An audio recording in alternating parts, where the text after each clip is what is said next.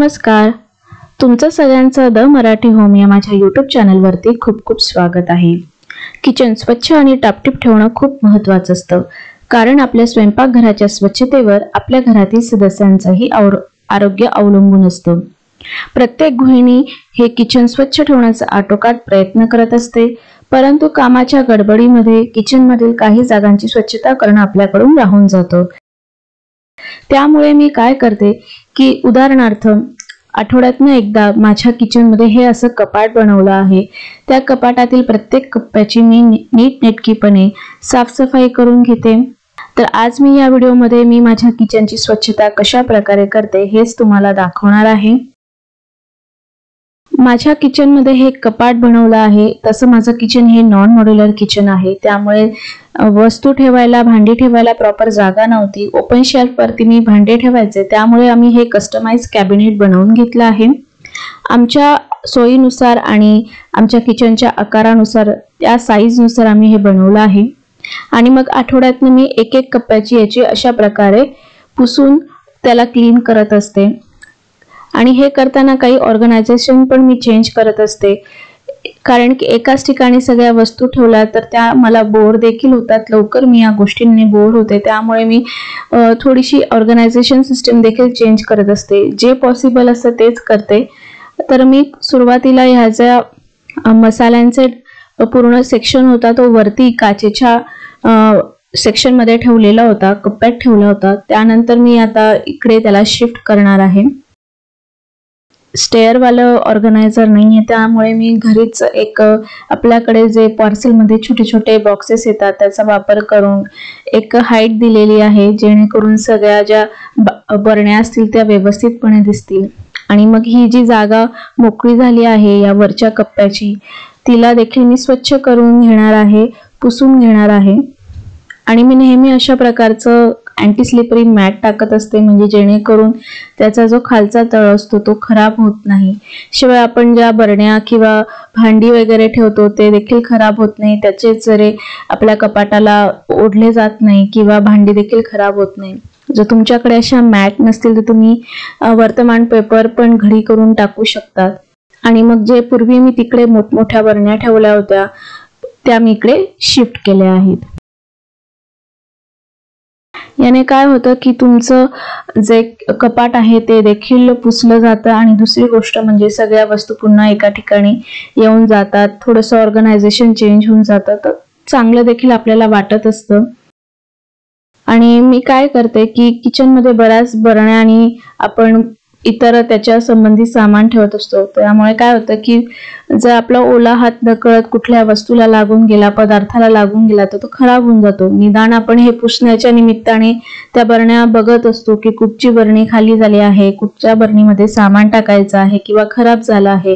मग ती खराब झालेली वस्तू आपण काढून फेकून देऊ शकतो आणि दुसरी चांगली वस्तू आपण त्या ठिकाणी भरू शकतो. दान ह्या पुसण्याच्या निमित्ताने सगळ्या माझ्याकडनं बरण्या देखील चेक होतात. कुठची बरणी खाली असेल तर ती भरली देखील जाते. आणि वरच्या कप्प्यामध्ये मी ह्या सिरॅमिकचे दोन जार्स ठेवत असते.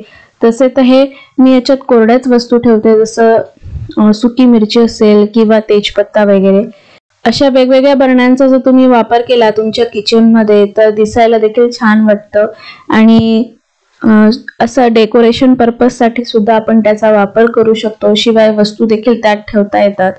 तुम्हाला माझ्याकडे जास्त करून काचेच्याच बरण्या दिसतील कारण की मला भयंकर आवडतात काचेच्या बरण्या. आणि मी त्याला लेबलिंग केलं आहे त्यामुळे त्या अति सुंदर दिसतात. तसं लेबलिंग करण्याची गरज नसते कारण की आपल्याला दिसतं. परंतु एक मोनोटोनी आपल्या पॅन्ट्रीमध्ये मेंटेन राहावी म्हणून तसे सुंदर दिसावं आपल्या बरण्या. त्यासाठी मी त्याला लेबलिंग केलं आहे. शिवाय घरात इतर सदस्यांना जर ही डाळ कुठची आहे ती डाळ कुठची आहे हे माहिती नसेल तर निदान लेबलिंग केल्याने त्यांना कळते सुद्धा की ही तुरीची डाळ आहे ही मुगी मुगाची डाळ आहे. त्यामुळे लेबलिंग मी करते. आणि या ठिकाणी मी ताट ताटल्या वगैरे ठेवत असते. तसेच मी जरी हा कपा तुम्हाला लहान दिसत असला तरी मी वेगवेगळ्या ऑर्गनायझरचा इथे वापर केला आहे. त्यामुळे छोट्याशा जागेमध्ये जवळपास मी सगळी प्रकारची ताटं ताटल्या या ठिकाणी सहजपणे ठेवू शकले आहे. जर तुम्हाला यातील कुठले ऑर्गनायझर किंवा कुठल्या बरण्या वगैरे घ्यायच्या असतील तर एकदा तुम्ही डिस्क्रिप्शन बॉक्स चेक करू शकतात. तिथे मी लिंक दिलेलीच आहे तुम्हाला तिथे ते मिळू शकतात. त्यानंतर हे एक काचेचा दरवाजा आहे तो देखील सारखा आपण दिवसभरात उघडतो बंद करतो. तो लवकर खराब होतो. आपल्या हाताचे ठसे त्यावरती उमळ उमटतात. त्यामुळे मी त्याला देखील स्वच्छपणे पुसून घेतला आहे. हा जो मोठा कप्पा तुम्हाला दिसतो आहे तिथे मी आपल्या रोजच्या वापरातील कडधान्य डाळी वगैरे ठेवत असते. या ठिकाणी मी चौकोनी बरण्यांचा वापर केला आहे. म्हणजे कमी जागेमध्ये तुम्ही जास्त बरण्या सहजपणे ठेवू शकणार. कारण की साधारणतः गोल बरण्या ठेवायला तुम्हाला जागा कम जास्त लागते. आणि चौकोनी असतील तर व्यवस्थितपणे त्या राहतात. त्यानंतर आज मी माझा फ्रीज पण नुसते वरच्यावर पुसणार आहे डीप क्लीन करणार नाहीये कारण की महिन्यातनं मी एकदा त्याला डीप क्लीन करत असते. जर तुम्हाला पाहायचं असेल की डीप क्लीन मी कशा प्रकारे करते तर मी एक व्हिडिओ बनवला आहे. त्याची लिंक देखील मी तुम्हाला वरती आय बटनमध्ये देईलच. तिथे चेक करा तुम्हाला प्रॉपर व्हिडिओ तिथे मिळेल. तर आज मी फक्त वरच्यावर सगळे शेल्फ वगैरे सामान काढून पुसून घेणार आहे. कारण की संध्याकाळी मला भाजीपाला आणायला जायचं आहे. त्यापूर्वी मग मी आठवड्यातनं एकदा जेव्हा भाजी वगैरे आणायला जाते त्यापूर्वी मग मी सगळे शेल्फ वगैरे पुसून काढते. याच्याने काय होतं की तुमचं जे रोजच्या मध्ये आपण जेवण बनवण्यामध्ये भाजी वगैरे काढण्यात काही ना काही खाली पडतं मग ते शेल्फवरती ते जमा होतं. आणि असं जर तुम्ही आठवड्यातनं एकदाला वरच्या वरचा क्लीन करत राहिला तर तुमच्या फ्रीजची शेल्फ लाईफ सुद्धा वाढते जास्त दिवस ते टिकू शकतं. त्याचं प्रॉपर ते चांगल्या प्रकारे फंक्शनिंग देखील करत असतं. कुठच्याही प्रकारचं लवकर ते खराब होत नाही. शिवाय जे शेल्फ असतात ते काही जणांच्या घरात खूप चिकट होऊन जातात कारण की ते लवकर साफ करत नाही. त्यामुळे म्हणजे तुम्ही असं साफ करत राहिलं तर तुम्हाला कळतं देखील की कुठची भाजी संपलेली आहे कुठची तुम्हाला आणायची आहे. त्यानंतर काय काय तुम्ही लिस्ट बनवू शकतात कोणत्या याची तुम्ही जर बाजार घ्यायला जाणारच ना तर त्या तुम्हाला कळतं देखील की कुठची भाजी आणायची आहे. तुम्ही प्रॉपर लिस्ट देखील बनवू शकतात. त्याचप्रमाणे मी फ्रीजरला देखील क्लीन करते कारण की फ्रीजरमध्ये मी रवा मैदा बेसन ठेवत असते. तसेच काही मसाले जे आपले असतात पावभाजी पाणीपुरी मसाला वगैरे हे देखील ठेवते. तसंच साईचा डब्बा देखील मी फ्रीजरमध्ये ठेवते.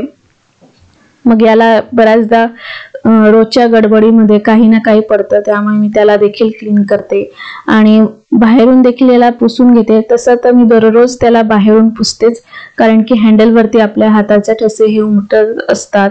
त्यामुळे मी दररोज माझं हे काम आहे की ॲटलिस्ट आपले जो फ्रीजचा डोअर आहे तो मी पुसूनच काढते. माझ्याकडे हे एक ड्रॉवर सेट आहे. त्यामध्ये मग मी उरलेली जी आपली पॅक पाकिट असतात. जसं मॅगीचं पाकिट असेल किंवा उरलेली जे शेंगदाणे किंवा साबुदाणे बरणी भरल्यानंतर जे उरलेलं सामान असतं ते पॅकेट मी या ड्रॉवर सेटमध्ये ठेवत असते. अशा प्रकारचं ड्रॉवर सेट खूप महत्त्व उपयोगाचं असतं. जर तुमच्याकडे नॉन मॉड्युलर किचन असेल तर मग एका जागेमध्ये तुम्ही तीन ड्रॉवरमध्ये सहजपणे जास्त सामान ठेवू शकतात. ओपन वस्तू तर आपण या ठिकाणी नाही ठेवू शकत पॅक्ड वस्तू ठेवा म्हणजे जेणेकरून कुठचीही गांड किंवा किडे वगैरे होणार नाही. त्यामुळे मी या ड्रॉवर सेटचा वापर माझ्या उरलेल्या ज्या किराणा मालातील पॅकेट्स असतात तेच ठेवण्यासाठी मी वापरत असते. शिवाय मी खाली अशा प्रकारचा वर्तमानपत्राचा तुकडा देखील टाकते म्हणजे जेणेकरून त्याचं तळ खराब होत नाही. आणि रोजच्या रोज हे ड्रॉवर सेट पुसलं जात नाही तर मग खूप घाण धूळ बसून जाते. तर मग आठवड्यातनं मी याला देखील एक चांगल्या फडक्याने पुसून काढते स्वच्छ करून घेते. आणि अशा प्रकारे मी तिघ ड्रॉवर सेटमध्ये किराणा मालाच्या अशा पॅकेट्स ठेवून देते. म्हणजे लवकर सापडतात. शिवाय मी या ड्रॉवरला लेबलिंग सुद्धा करून घेतलं आहे की कुठच्या ड्रॉवरमध्ये काय वस्तू ठेवल्या आहेत. म्हणजे जेणेकरून मला जर गर्दी असेल तर नुसतं मी ते लेबल वाचेल आणि ते ड्रॉवर उघडून त्या वस्तू काढू शकेल. तुम्ही देखील असं करू शकता. तुम्हाला देखील खूप फायद्याचं होऊ शकतं. त्यानंतर दुसऱ्या दिवशी कारण की एका दिवशी सगळं काम करणं शक्य होत नाही. त्यामुळे मग उरलेलं काम मी दुसऱ्या दिवशी केलं होतं. हे जे तुम्हाला रॅक दिसत आहे ते मी किचन ओट्याच्या टाईल्स वरती लावला आहे. ज्या ठिकाणी मी कप आणि चहा साखरचे डबे ठेवत असते हे देखील खूप चिकट होतं. कारण की वर खाली लगेच गॅस आहे आणि रोजच्या जेवणामध्ये तेल वगैरे उडतच असतं. त्यामुळे मी याला देखील स्वच्छपणे घासून घेतलं आहे पुसून काढलं आहे. हे तर आठवड्यातनं एकदा होत नाही परंतु माझा प्रयत्न एक असतो की पंधरा दिवसातनं एकदा तर याला साफ केलं गेलंच पाहिजे. नाहीतर मग लवकर गंज लागतो स्टीलचं जरी असलं तर. तरी मग खराब होतं. त्यापेक्षा मग त्याला स्वच्छ ठेवण्याचा हा माझा प्रयत्न असतो. शिवाय माझा वॉशिंग मशीन देखील किचनमध्येच त्याची फिटिंग आहे. तर या ट्रेमध्ये मग मी सगळे आपल्या वॉशिंग मशीनशी रिलेटेड सगळे लिक्विड्स ठेवत असते. मग हे लिक्विडचा जो ट्रे आहे तो पण खाली चिगट होऊन जातो. बऱ्याच वेळा ते लिक्विड आपण टाकतो तेव्हा ते खाली उघळतं आणि मग ते चिकट होतं. मग याला सुद्धा मी धुवून काढते आणि मग सुकल्यानंतर सगळ्या वस्तू व्यवस्थितपणे त्यात ठेवून देते. म्हणजे कुठच्याही प्रकारचा चिकटपणा त्या ठिकाणी राहत नाही. आणि तुमचं हे किचन नेहमी स्वच्छ आणि नीट नेटकं राहतं. तुम्ही जर आठवड्यातनं अशा प्रकारे विभागून काम केलं तर तुम्हाला नक्कीच याचा फायदा होईल. हल्ली मला युट्यूबचं खूप काम असतं त्यामुळे मी साधारणतः आठवड्यातनं अर्धा ते पाऊन तासच माझ्या किचनला क्लीन करण्यासाठी देऊ शकते. मग एके दिवशी संपूर्ण काम न करता मग मी दोन दिवसात माझं किचन क्लीन करते. त्यामुळे माझं नेहमी किचन हे स्वच्छ आणि नीटनेटकं राहतं. कुठच्याही प्रकारचे किडे किंवा झुरळ माझ्या किचनमध्ये होत नाही. आणि सगळ्यात शेवटची स्टेप म्हणजे पुसून काढणं. आणि मग माझं हे किचन अगदी स्वच्छ नीटनेटकं होतं. तर मैत्रिणींनो तुम्हाला आजचा हा माझा व्हिडिओ कसा वाटला? तुम्ही देखील अशा प्रकारे तुमचं किचन स्वच्छ करू शकतात. व्हिडिओ आवडला असेल तर लाईक करा खाली कमेंट करायला विसरू नका. त्याचप्रमाणे माझ्या चॅनलला देखील सबस्क्राईब करा. पुन्हा भेटूया एका नवीन व्हिडिओ सोबत. तोपर्यंत धन्यवाद.